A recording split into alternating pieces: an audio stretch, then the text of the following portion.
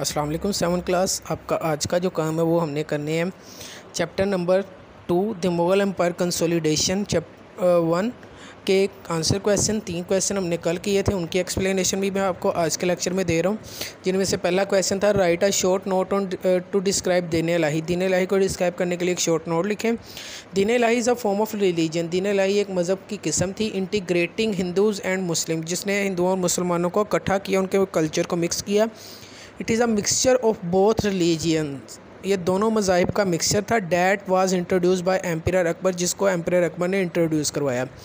What was the bhakti movement bhakti movement क्या था? This movement refers to development of devotional trend in Hinduism Hinduism के अंदर जो devotional जो उनका अकीदत का ट्रेंड था, उसको ये डेवलप करने के लिए था।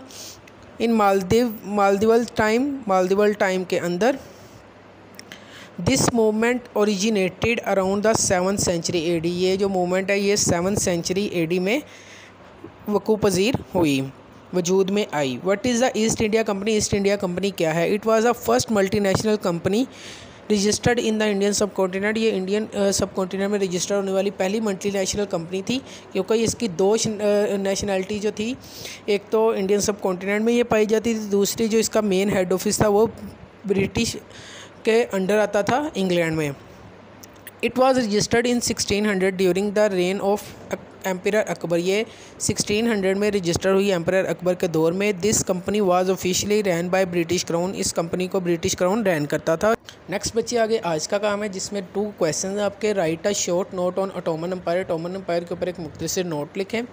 This was a powerful Muslim caliphate in present day Turkey ये प्रेजेंट डे तुर्की के अंदर एक मज़बूत, ताकतवर मुस्लिम खिलाफत थी। This dynasty was founded in 1299 by Osman इस डेनेस्टी को, इस शाही ख़ानदान को बारह सौ निन्यानवे में उस्मान ने दरियाफ्त किया।